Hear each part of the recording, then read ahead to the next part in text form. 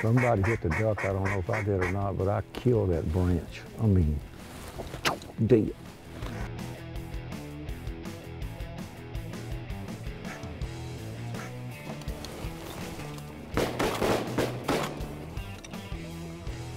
Mr. Greenhead